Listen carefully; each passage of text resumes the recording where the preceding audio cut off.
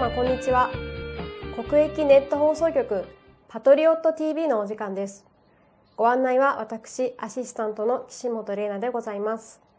パトリオット TV は世界日報社のビューポイントがお届けするネットテレビ番組です。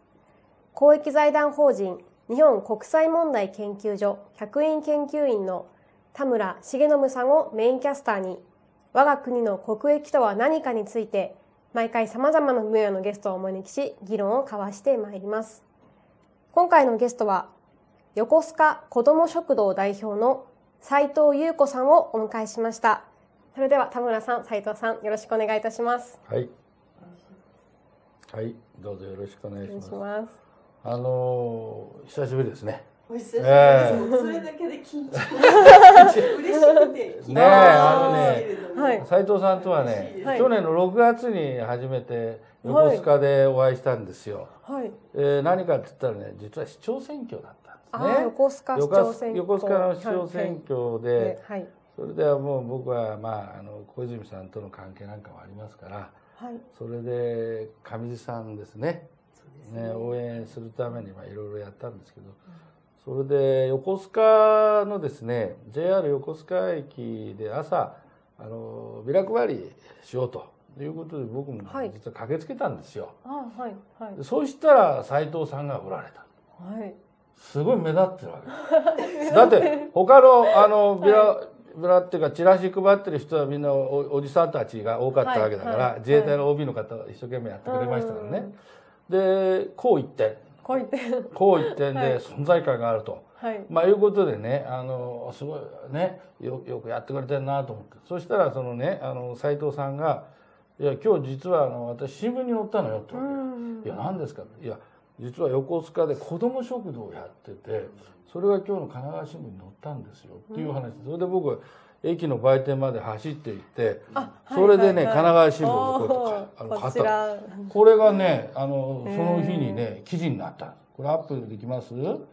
ええ。こおここが？ねみんな笑顔あの一緒で笑顔ってね。これはねあの新聞に載ったんです。これをねずっと実はやってくれやってくれているうん。あの方なんですね、はい。はい。それでねやっぱり今ほら貧困だとかね子あのうん、それでこの前もはい。あの、あれでしょうあの元ボクサーの坂本博之さはい。ん呼んで、貧困問題だとかねそれから児童養護施設を応援しなきゃいけないとか、うん。いろいろ話しましたけどね。でその中でもやっぱり子ども食堂っていうのはね、はい。あの非常に大事だなと常々思っててはい。そしたら実際にこう実践されてる方がね、僕あのお会いしましたのでねこれはすごいことだなと思ってね。それであのしたんです。それではい。ねあの、ねどうでした？最初ね僕と一緒に会ったんですよ、はいね。い。名刺もらった時に、ええ。ええってで選挙やってたけど先生の皆さんも肩書きが連日選挙で、うんやっぱり自分はそこで新聞とあのこの記事と同じようにね笑顔でいたかったんですよ、うんやっぱり笑顔のもたらすものってねすごくあるし、うんみんな毎日一生懸命だからっていうその自然の中の笑顔で、いや笑顔でしたよ。ううんんなんかねいい顔してましたよ。痛かったですよえ。はい。嬉しかったですね。あ本当に走ってうん。すぐあの買ってきてくださって、うん新聞をね、はい。はいうん。いやそうそうその時はだからねあのあれですよ。上地さんとそれから小泉進次郎さんもね、はい。一緒にいてね。みんなで一緒にやったんですよ、うーん。ね。だったんですねなんかえらい仲いいんですよ。あの上地さんとかね。あの上地さんか。上地さん。ごめんなさい。上地さん。とね、あそれからあの小泉さんと仲良くてね、これあれですよね。そのあのまだあの市長として当選する前にもねこういうね、あの協力してくれたんでこれアップしてくれます？子ども食堂っつってね、うん。ええ。ここへほらここになんていうか、えーとあれ？うううそうそうそう。うちょっとここだ、えー手があれだこれここでこれね？これから市長になるっていうね、でこれ真ん中にねあ小泉さんいるでしょ、はい。まあいうことでねこれだからあの市長になる前からねね。こういうことをね応援してくれたと、まあいうことでまたね、はい。そういうあの有力者をね、あの一緒にこ取り込んでねうん。協力させるってこれはなかなかのもんですわなと思ってそれってやっぱりそのためにはやっぱり実践されてるってことですね。なんか、え自分の思いが、行政とか、うん。国会にいる人たちにも、一緒に、あの悩んでうん。考えてもらいたくて、うん。あの一生懸命あの進次郎さんとか、上地さんに、うん。あのお話ししたっていうのを夢中で話した覚えがあります。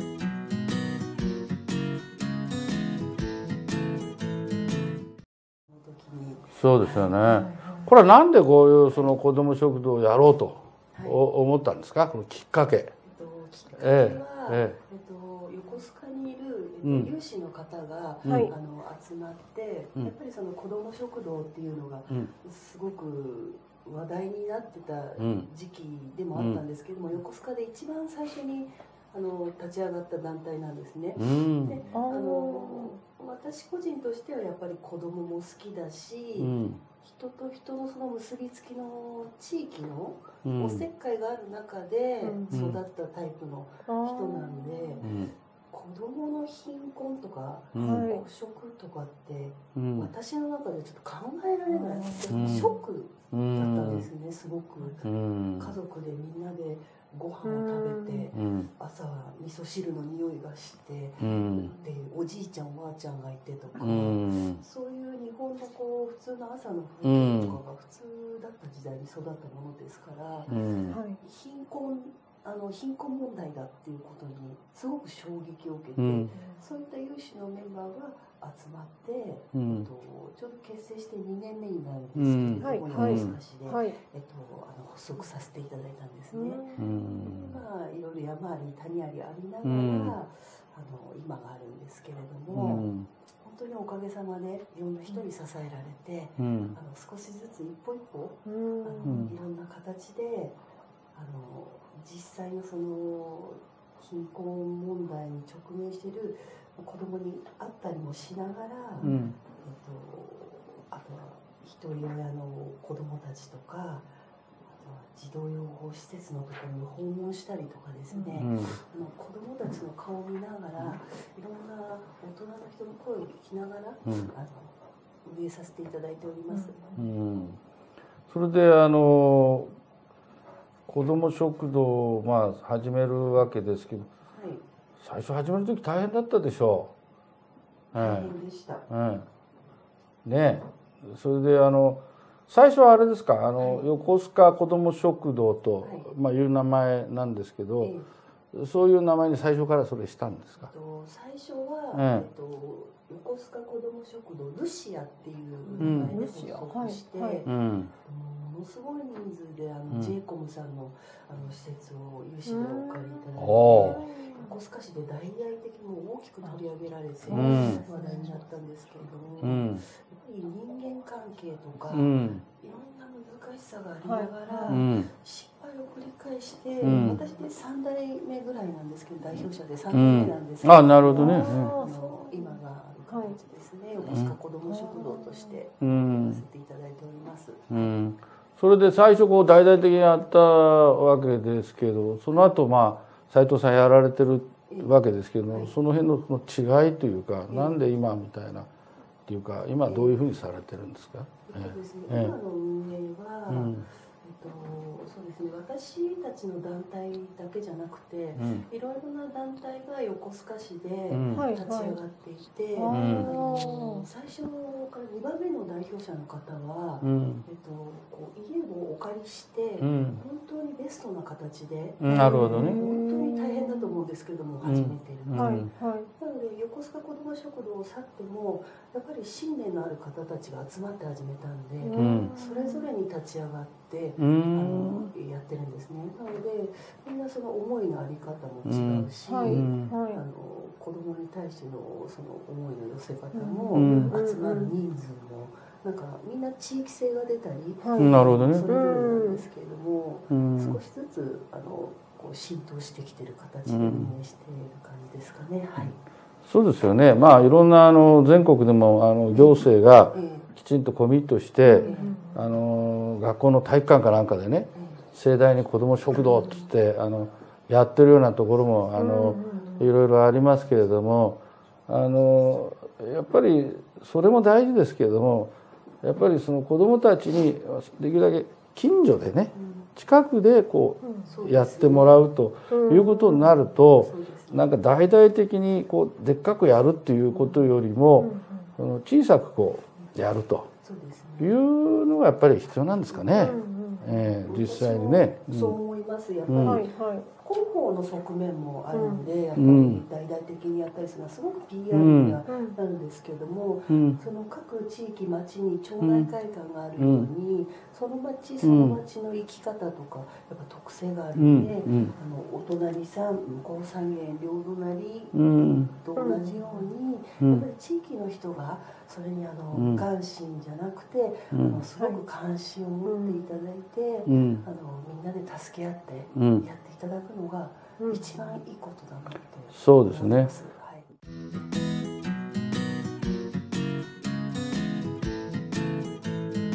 あるけれどもこれからお聞きしたいのはですね、やっぱりその斉藤さんならではの子ども食堂、まあ、今現在やっている子ども食堂ですね。それの特徴についてねこれからお伺いしたいと思うんですが。斉藤さんは食生活支援団体おむすびの代表でもいらっしゃいますよね。うん、そうですね。あの最初は、うん、あの先輩方についていて、うん、本当にこうすごくいい先輩に囲まれて、ああなるほどね。先輩を見て育ってた人だけだったんです。普通のお母さんで、お手伝いしたわけだな最初ね。運営員として、あの寄り添うというか、うん、遠くから見たり近くから見たり、うん、もう本当に勉強してたぐらいなんですけれども、気づいたら、あの人間関係とか、まあ、そういうのがあったりもした時もあって、まあ、自分がやらなきゃってことね。いやなかなかやっぱりねその NPO でもいろんなその僕らもいろんな勉強会とか、まあ、趣味の会みたいなのがあるんですけど、結構人間関係って厄介ですよね。特にまた女性同士っていうのは女性特特有のなんかあるんでしょ？ちょっとそうですね。ね。えー、だからその中でもやっぱり結局やり抜くかやり抜かないか行動するか行動しないかと、まあ、いうことですよね。えー、なんか便利すぎて、うん、はい帯とか豊かすぎて、うん、喧嘩もできない時代になってきてるんじゃないですか。こう言い合いとか、うん、コミュニケーション能力の低下が、うん、距離を人と人の距離を作ってる。作っちゃうんだよね。だから直接会って話すればね。まあ僕らもそうなんだけど例えばねあのなんて言いますかね携帯まあスマホでもそうだけどこうメールやるでしょ？メールってね結構ねあのなんて言いますかなそのコミュニケーションお互いこうつなぐものとしてね結構冷たい冷たいそのそうそうそう。なんかねあのぶっきらぼうになってねなんでこんなこと思ってなんでこんなこと思ってそれよりも例えばこう電話するとかね。もっといいのはお互いに会ってそれでこう会話すればいいわけですよ。だからそこをだからみんなやらなくてねあのやるもんだからあのお互い誤解をしちゃうんだな。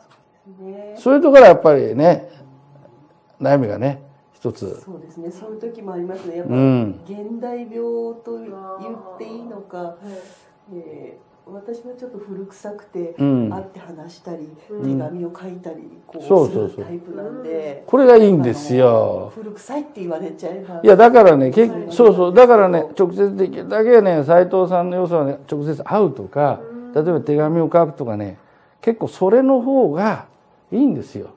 あのねあのそうですね「メガトレンド」ってあの本があってね、はい、ジョン・ネイスビッツさんっていうのが昔,、あの昔そういう有名な本を書いてこれは竹村健一さんがねあの、よく紹介した本ですけどどういうことを言ってるかっていうとこれからの時代はハイテクノロジー、うん、ハイテックの時代になるよと、うんうん、ハイテックの時代になればなればなるほど実はハイタッチね、それが大事なんだと。人と人との直接のぬくもりの関係とかね、そういうのだってそうでしょ？例えば AKB なんてわあすごいなと思うんだけど直接見に行きたい。いう人はやっぱりあの多いですよね。直接握手するとかね。だからそういうねハイテクノロジーこういう時代が便利になればなるほど直接こう会ったりするっていうのは非常に大事ですよね。だからお互いコミュニケーションのやり方としてね、例えばこうはがきでこう書いたもをこうもらうとね結構これ嬉しくてね効果的ですよね。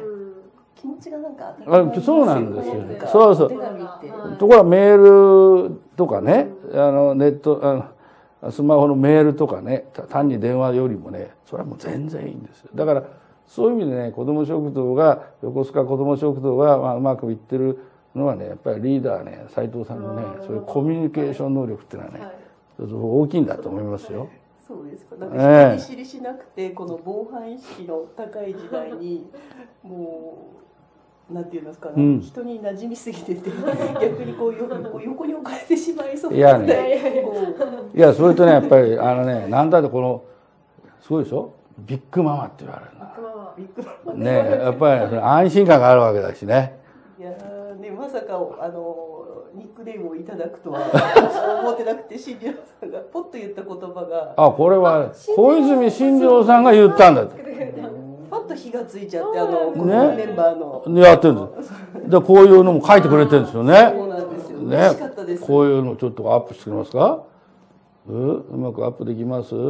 ね。はい。どうですか？はい。子ども食堂っつってね。小泉進次郎まあ、こういうやつね、手紙をね、えー、そういうことでねあのあるんですよ。だからねなかなかやっぱり、あのそれとね僕もあのお邪魔した時にねその例えばあの友達の女子プロレスラーとかねあるいはそのラーメン屋さんとかね。ラーメン屋さんでそこでもなんかいろいろ協力してくれるっていうかどどんな協力でした？ええ行った時ね坂本君とね。あのボクサーの坂本さんと行った時にねラーメン屋をお邪魔してそのラーメン屋さんがその協力してくれるってどんな協力でしたかね？ね、うん、あのラーメン屋さんは、うん、あのいつも、うん、あの何もないところから、じゃあうちが引き受けるようちを場所にしてやっちゃえばいいんだよ。ラーメン屋をねいいでしょ？最初に、うん、こう手を挙げるのってすごい勇気がいるじゃないですか、ね、そう。やってくれる人って時って、うちが引き受けるよっていうその子ども食堂の本当に協力者の一番のみたいな、うん、いいですよ。だからだからそこのラーメン屋でねあるあの時間ねあの子供たちが来た時にラーメンをこう提供すると。ね、すごくいいわけです。本場の。いや、そうそう。だから子ども食堂っていうのはね、はい、あのそういうふうにある時はこうああのラーメン屋さんが協力してくれるとかある時はちゃんとした食堂が協力してくれるとかね。居酒屋さんがどうとかね。そういうやつをやっぱりねこうやって増やすっていうのは大事ですね。僕それ見てねあこれいいことだなと思って、はい、ねその時に一緒にねなんか女子プロレスラー。いましたよね。それで彼女たちもねなんか応援してくれるんですって？そうですね。あのうん、えっと、他県から横須賀市に、うん、40キロかな？もうこれ電車で？もう すごく有名な方で雫選手っていうんですけれども、あ知ってんの？もう友人とかにもすごく広く活躍されてて、それを担いでくるっていう、やっぱり気持ちのある人ってもう曲がらないんですよ、何がもう嵐が起きてもまっすぐ信念を変えない、でそうもうがむしゃらでやってた時に田村さんにお会いした。なるほど。たまたまね。いやそれでね僕ね、はい、あの横須賀子ども食堂にね顧問になっちゃってるんですよ。顧問顧問、ね、いろいろ顧問あります。顧問、はい、ね。ということであのこれからはあの、はい、僕が顧問をして、はい、えー、その後、はい。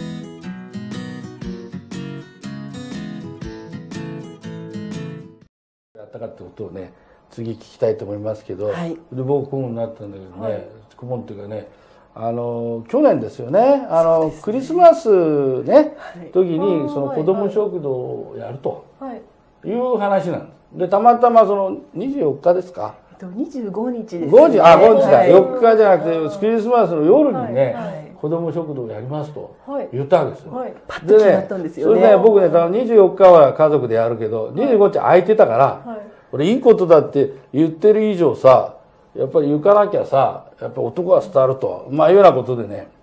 それで行ったわけですよ。ね、で行ってまあ何がしかの寄付したりなんかしてそれするぞとかなんとか言ってそしたらだから顧問になってくれと、まあ、いう話になってね。ありがたい。ねその時ねあのやっぱすごいのがねはい。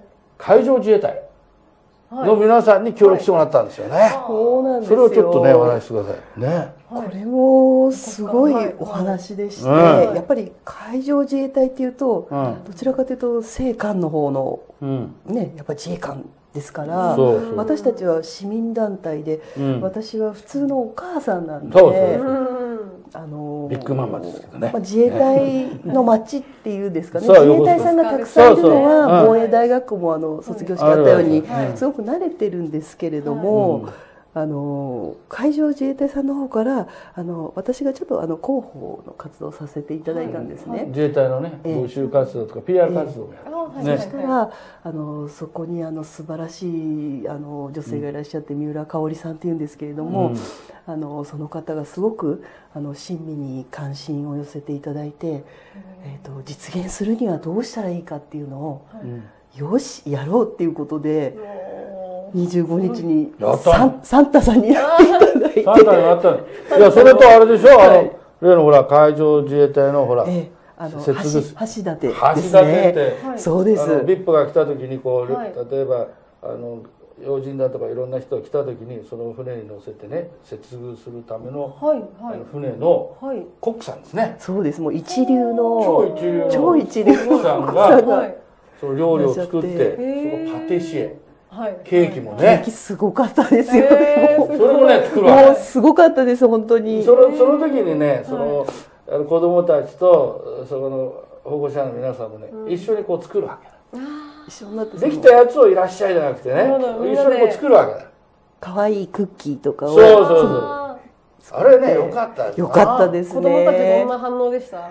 えっと一生懸命でしたよね、ねあのそうでしたよ誰かのために、うん。私のためにっていうコンセプトまで、あの自衛隊さんの橋立の、はい。あのシェフのパシパティシエさんの方があすのコンセプトまで持ってくださって、誰かのためにや私のためにっていうので一生懸命子供たち、うん。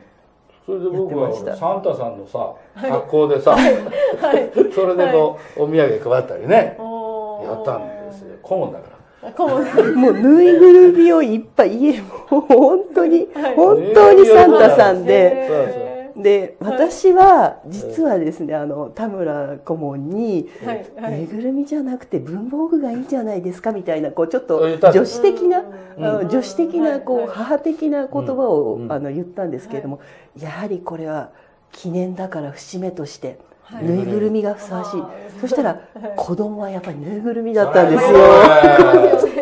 いやいっぱいいい人のだからほら僕飾はってあります自分の子供とかさ孫なんかいるから、やっぱり喜ぶんだよ、うんやっぱり。やっぱご存知そうだねノノ分かってるんですートあげたってさいつもさそうですよね。また勉強しろって言われるのか やっぱり楽しいんだから、はいね子供クリスマスだからが楽しいんだから楽しいものちょうだいよってなるわけだから。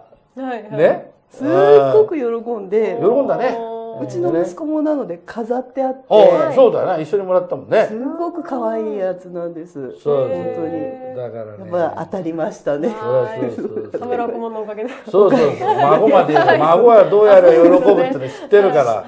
そうですよね。ねえやっぱり頭で考えてねこれはやっぱりあの正しいとか正しくねとかなんとかって話じゃなくてやっぱり面白いか面白くないか。そうですよね。子供たちが喜ぶかどうかという話を持っていかないとね。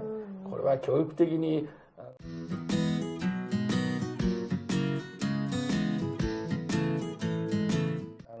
できるということで。すね。でこれをねだから次はねあのいろんなね今度はね横須賀っていう拠点だけじゃなくて最近なんかねい。ろんなところでこう関係ができてますよね。そうなんですよ。いろんななんか群馬県のなんとか市とかいやなんだとか なんかその辺ちょっとお話ししてくれますか？すはいはいはい新潟県、ご出身がおあのどちらですか？僕新潟県そうですよの長岡市は昔の都庁市ですよ。あの新潟実は新潟県にもなので作りたくて、はいええっとこの始まりっていうのはやっぱり。うちにいるあのこあの子ども食堂のメンバーの故郷を、生まれ育ったその土地を大切にしたいっていうあそれ思いがはいい。よ詰まってるんです実は。いやそりゃそうですよ。昔はねあの日本全国の中でね一番人口が多かったのは新潟県なんだから。そうなんですえねあそうなの？知らなかった？知らなかった。なんだからお米が美味しいっていう。新潟県が一番ね 人口多かった。それがねどんどんやっぱり東京とかね関東付近にねみんなねあのあ稲作で。あの移り住むわけですよ。あ大体昔はね大体その銭湯ね。古屋さんっていうと大体新潟の人とかね。へ多かったんですよ。ー。お寿司屋さんとか。今ちょっと変わりましたけどね、まあ、僕みたいなのもいるんだけど。そう。いうのにはね。ーはい。多いんですよ。新潟の人多いんですよ。はいあそうですか。横須賀にこう来て、はい。それでそれはいいですね、はい。な感じで、はい、北海道出身の人がいるんで北海道。おー国民性っていうんですか？地域性でうん。県民性が今度出るんでそうそう違うんだよね。住んでるとこで全然心がやっぱなんて言うんですかね、うん。あのおおらかだったりとかスローペースっていうんですかね、あとはこう静かだったり、うん。あと表現力が豊かだったりと僕みかたいに気が短いとかね。気が短いい。ろんな全人然が短くないと思いますけど。短くないと思いますけど。そこの県の団体の方と一緒に、そうですね。そういうこともうん踏まえてやっぱりキャッチボールしてやっていかないと、はい。どうしても閉鎖的になっちゃう、すごいよね、えだからさ、横須賀だけじゃなくていろんなところにね見事でしょえやりまあすすごいであとよできます。群馬なんかね群馬群馬県はどこの市長だっけね、はいえっとどんな感じなのね、太田市群馬県太田市にはうん。もうすごくアイデア市長って言われてるですね、はい。もう,、はい。もう20年以上前だと思うんですけれどうんも、とっくにあの子ども食堂を行政主導型でどんな嵐が吹いてもこれだけ。立ち上げちゃう。わ16箇所ぐらい行政主導型でフードバンクとうん。子ども食堂も設立されててですね、えっと、横須賀市は市民団体が主導なので、真逆ですよね。そうう。ん。そうするとあのお互いの良さとかうん。あの意見交換とかうん。あのキャッチボールできるんでうん。私は子育て育児のところでもう長けてる市として、うん。もうずっと通ってるんですね15年間ぐらい。あ。それであの表敬訪問に行きまして、えー実はですねここで初公開なんですけれども、ーはいはい、えー子ども食堂をあのやりませんかということを太田市長にうん。言われましてはいそれどこで太田市でやれっての？そうじゃなそうです。え？群馬県太田市です。太田市であなたがやれっての？そうです。何やるのえー横須賀子ども食堂太田市をやります。あ やります。私。あー。それはなやるやるんだけどえー何を特徴にやるえっとですねやっぱりその持ってるものがの、うん、もうずっと前を前を行ってるんでああなる。知ってる知識もあるし。ああそれそれとだから長くやっててもマンネリ化してるっていうところあるわけだな。そうですね。うん。そうですね。やっぱりさ行政主体とええ。やっぱり民間で主体的にやっぱりこうやろうっていうのとやっぱりちょっと違ってきてるっていうのはやっぱり市長さん分かってる、そうです偉いっしょはねすごいなんか嵐が吹いた時もあったって言ってました。もう自分の思ってることを貫くのうに、ん。やっぱり嵐がまあ嵐の時もあったりとまあか、何かやろうと思えば抵抗があるわけそうそう新しいことやると必ず抵抗あるあるけうん。どその中でやっぱりこう実際にやっていくってことはねそうですね。一番やらないで人の批判してるの楽やけどね。そうじゃなくて実際やるとるといきなり違うよねそうですね。行動するっていうのはあのやっぱりすごく大変なことだなって思うんですけれども。はいうん。身をもって。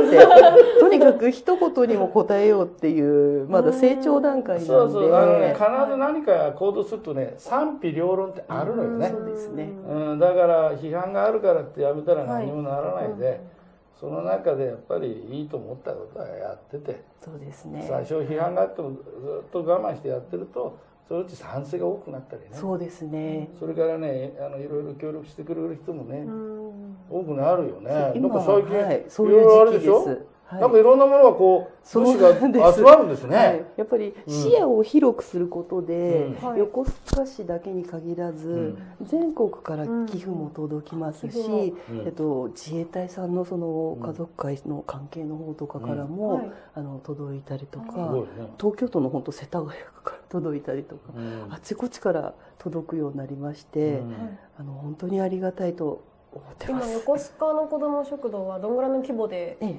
実施してるんですか？えっとですねサイクルはあのコミュニティセンターっていう行政施設をお借りしててそれは結構こうあちこちの町に各エリアにあるんですね。であのそこに充実した調理室があるんで調理室あるのね。あるんですね。僕は行ったんだけどね、はい。調理室があったよ、はい。うん、そこであの料理作作れるわけだから自衛隊の皆さんなんかね。そうですね、うん。はい、結構いいとこあるんだよ。それつだからどんどん使ったらいいんだよね。そうですね。活用して、はい。やっぱり初期投資きあの事業を始めると考えたとしたら、うん。ね、あの初期のあの設備投資がとかそういうコストもす、あの省けるしすぐあの協力していただいて、あの実行に移せる、であの地域の人に広報を兼ねて地域性であの成長していくんで、うん。えっと、社会福祉協議会の人があの、うん。協力してくれてる横須賀市の大津地区っていうのがあるんですけれども、そこは、えっと、社会福祉協議会の有志の方があの立ち上がってくださって、もう昔からやっぱりそこは社会福祉にあのうん。長けてるうん。町で、うん。あのぐーっと今すごく伸びてるんですけれども、そういうものをいろんな地域で、うん。あの特色を生かしながら、うん。あの伸びてきてるところですかね。うん。なので最初のお話に戻るようにあの各ちょあのエリアであの近所の人であのこうやれるようになってうん。助け合いでできるようになったら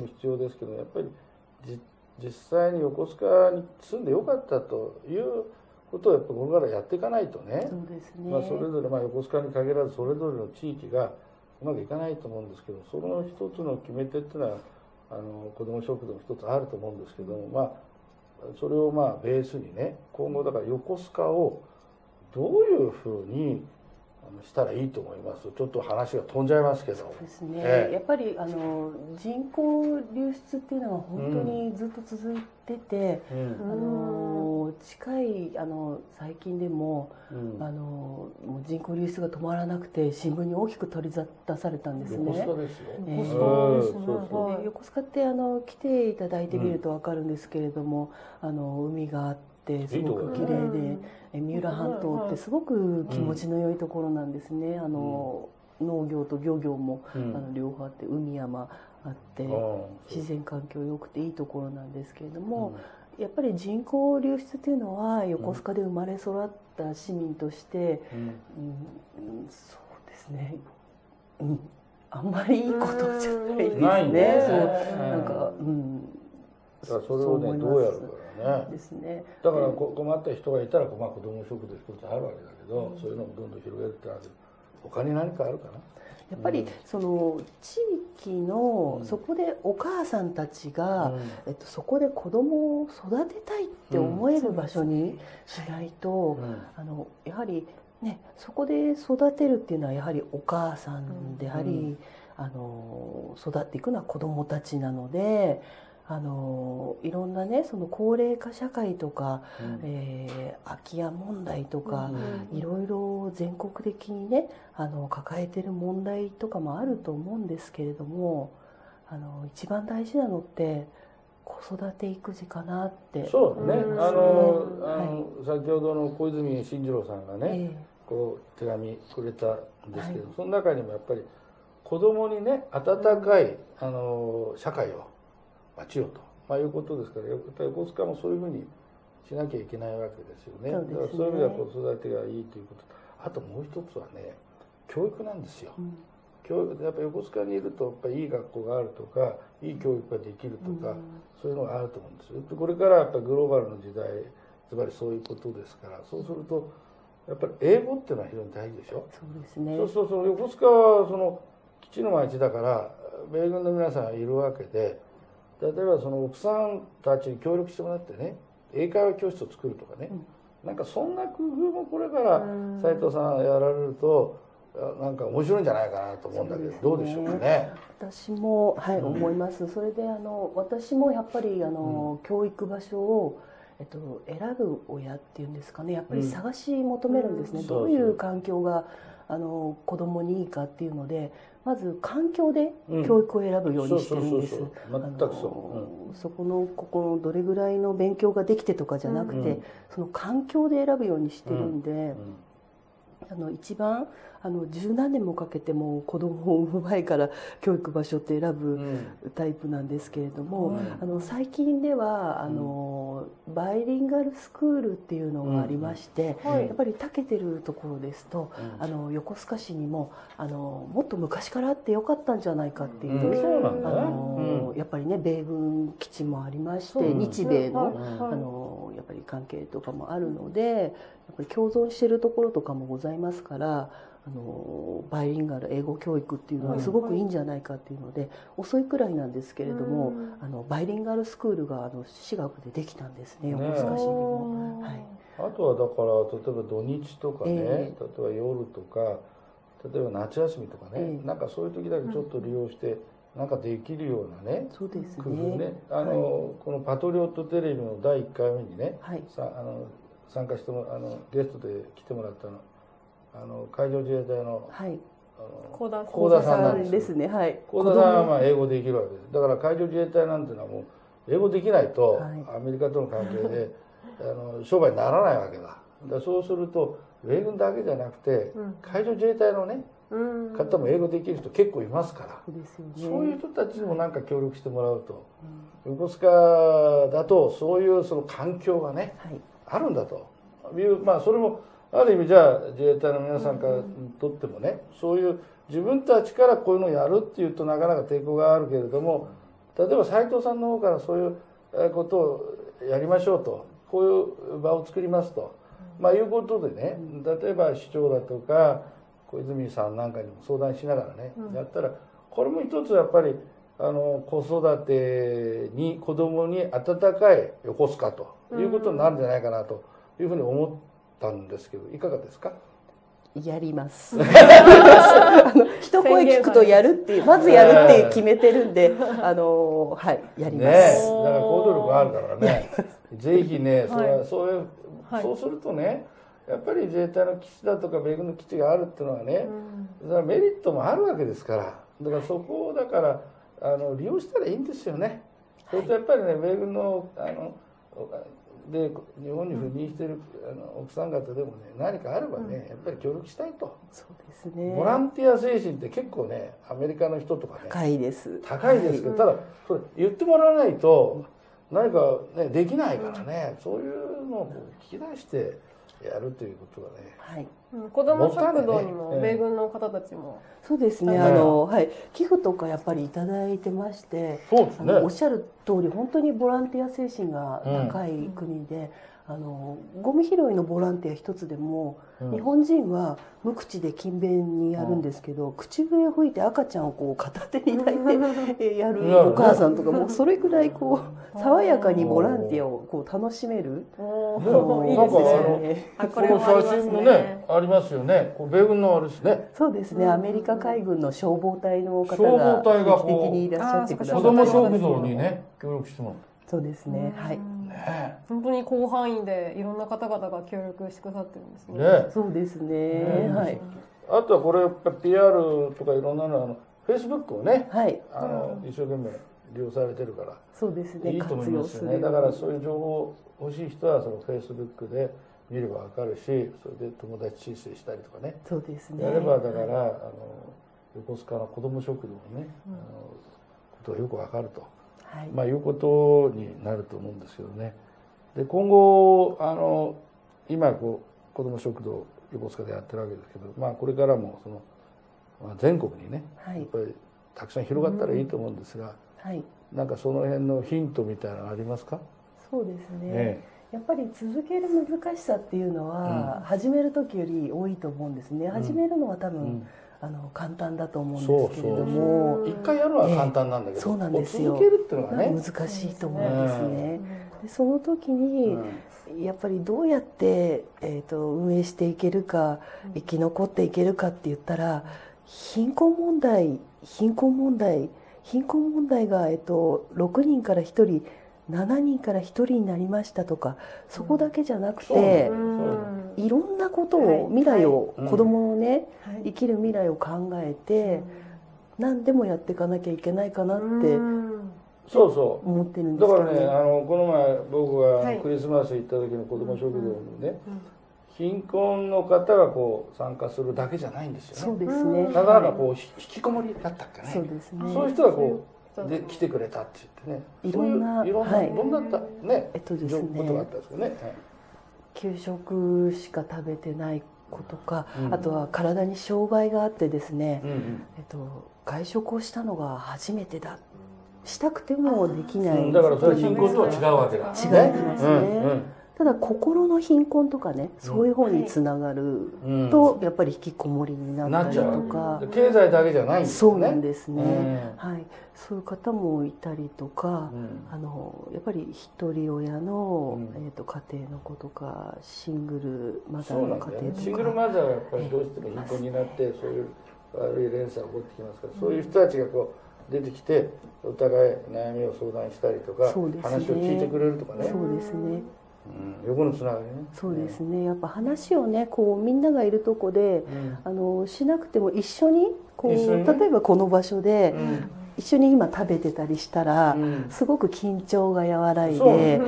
こはうコーヒーが出て、はい。お味噌汁飲んでご飯食べてとかしたら、すごく笑顔になって、違うあの食を食がコミュニケーションツールなんですね。やっぱりね、はい。人間ってね、あの本能的にあ美味しいもの食べてるとね嬉しくなっちゃう。笑。そうですね。ね特に子供、はい。お子さんなんかそうだよね。そうですね。でいいものもらったりするとね。うん。だからそうそうそう。だからあの先ほど紹介したあの元ボクサーの坂本博之さんなんて児童養護施設に行くと必ずねおやつを持ってる。んですあでおやつを、ね。そうそうおやつをね、はい。あの買ってねそれをねあの常あのそれをね小さい袋にねみんなでね入れてね袋袋詰めしてねそれでね必ずそれをね配るんだ。嬉しいですよね。やっぱり。ええ。それはね坂本さんのねえー小さい時の体験があってねおあの児童養護施設でねおやつが出てねそのおやつっていうことはね今までの児童養護施設に入る前までねそういう経験なかったと、でおやつっていうのはあるんだって言ってね。それがねものすごくね坂本さん頭に残っててね、だから自分が児童養護施設を応援する時にはやっぱりおやつを持っていこうと、いうことでねずーっと続けてんだな。坂本さんあまり多くを語らないです。けれども、あ あの人のそう。すごくねあの。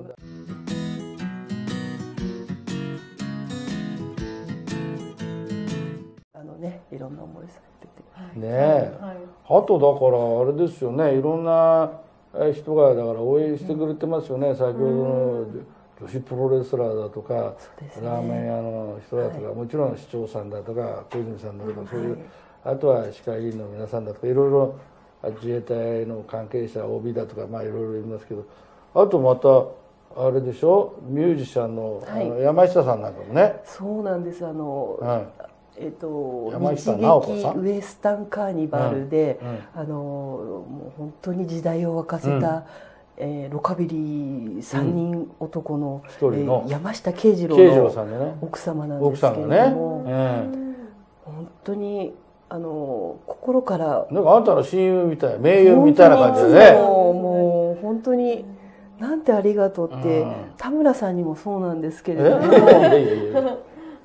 なんてありがとうって言ってる暇もないくらい結構駆け抜けてる時もあ,、うんそうだよねるのでやっぱりこの原動力になってますね、うん本当にお力添えいただいて、うんご自身もいろんなその子供とか子育てにご苦労もあり、あの思いを共感した上でうん。一緒にこう一歩一歩歩いてくださってるんで、なんてありがとうって言っていいかそうですね。CD があるんですよね。はい。あのねあのこれせっかくだからねこのこういうね CD 山下慶次郎ね。亡くなった慶次郎さんが、あの山下直子さんね。歌は心でっていうのが、うんあのうん。はい。あの僕も一応歌手なんだけどね。すごく素敵だっておっしゃってましたよ直子さんがあのいやいや。鬼怒川の歌てがどうもあ素敵だって。鬼怒川おっしゃってまねしたね今流行ってるんですよおかげさまでね鬼怒川温泉の恋する鬼怒川っていうのがねえー、もう間もなく見ました。拝見しました。ダムにも入りますから、はい。あえすごいですね。えー、6すごい。月に入る予定ですからね。ね非常にありがたいと思いま、わかりますした。やっぱり歌っていいですよ。ものすごく。本当ですね。音楽っていいですね、えー今度はあれじゃないですか、はい。横須賀子ども食堂をイメージしたはい。なんかテーマソングでも作っていかんですね。そうなんですね。そうですね。ね。音楽の街横須賀で。そうなんえー横須賀子ども食堂。いやそれやったらいいな。ぜひ音楽ってなんかこう言葉を交わさなくても。いや音楽ね。ね。いやだってあれじゃないですか。やっぱり横須賀あの米軍の方なんかも歌うまい人いますよね、えーあの自衛隊の武道館でね、去年音楽祭ありましたけどその時はやっぱり、えー米軍の関係者で、えらいうまい歌手がいましたよ。歌姫の方海上自衛隊にいらっし歌ゃる。姫ね3人出たの。陸海空とねですよね。あの出ましたけどね。で今度だからやっぱり横須賀良くするための歌ね合わせてね子ども食堂っていうかなんかそれ作ってねそれでやったらいいね。なんか下を向いてないで、うん。辛いことなんですけど大変だけど、前を向いてやっぱりそうそう明るく。だから何でもそうだけどね自分はもうこれダメだなと思ったらもうダメになっちゃう。でそれにめげずねいや頑張ろうと思うとね頑張られるんですよ。今元気でも。まあ、いまあ、ビ今ッグママはねもう元気だけど。まあでもねたまにね、はいはい。シュンとすることあるんですよ。あのねね。多分察知能力があるんですよ。あの察してくれる、はいはい。寄り添ってくれるっていうはい大人がはい。たくさんいたらいいなはいそうなんだよね。って。思ってね。やっぱりねいい時もあるし悪い時もあるから、いつもいい時ばっかりないんですよ。悪い時あるからその時にちょっと支えてくれるとかね。うん。まあ、ご主人も立派だから。あご主人がそうそうまああのそうですね。まああのそそういう意味でもねあのこうやれるわけですよ。だからそれはあのお父さんが理解がなかったらね、まあ、できないわけど非常に理解のあそうですね。るもうビッグパパだかあビッグママビッグパパ。のらそう。そ うね。そういうやっぱり周りの協力ですよでその周りの協力っていうのはどういうことかって言ったらで本人がやっぱりねいい人でないと協力者が増えないですよ。まあ変な言い方だけど本人がねでも悪い人だとね誰も来ないよね、ええ。でいい人だから行動力があって。本当にニコニコしてて。そうそうないせ人のためっていうことでね、はい。もう行動力ありま田すよ、村田村顧問は 俺。直子さんもそうなんですけど 上地さんもしあの小泉進次郎代議士も皆さんねやっぱ聞いてくれる？察してくれる？うん。分かってくれる？動いてくれる？うん。でこの距離こんなに距離があるのに、うん。気持ちって届くんだなって思ったんですよ、うん、そうね、はい。新聞の時も。うん、おそうそうそう。初めましてなのに、うん、すぐ新聞買いに行って誰も買いに行かないからさ。走って買いに行って。ね。どこで売ってんだろう駅駅は売ってるわけだからさ。そしたらこんなの大きくなってね。いやそれからだからあの去年のクリスマスの時もね、はいはい。読売新聞から取材に来てね。そうですね。で地方版でしたけどそれね結構大きくね。そうです新聞で紹介。ねうんはい。乗ったりしてね、結構マスコミにもね、あの登場してるんですよ。でそういうのがあってね、はい。で今回ぜひね子ども食堂、あまあいろいろあるけど第一弾としてはい。斉藤さんにぜひあの来てもらいたいと。斉藤優子さんに来てもらいたいと。いうことでね、お願いをしたんです。何か最後に一言あります？もう感無量。感無量。であの貧困問題っていうのはすごく根が深くてですね、うん。はい。本当に貧困だけでうん。ストレートにううん。んあの突き止めててもたどり着かないんですね。で自分が、うん。あの気づいたことはあのたどり着きたいあなたに会いたいなって思って一生懸命こうまっすぐ歩いてるところなんです。そうすると、あのそういう人に出会うんですね。